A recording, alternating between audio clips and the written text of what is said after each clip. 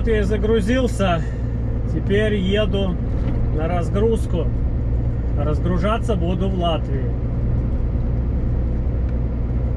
С левой стороны тут стена вся расписана различными картинами, граффити.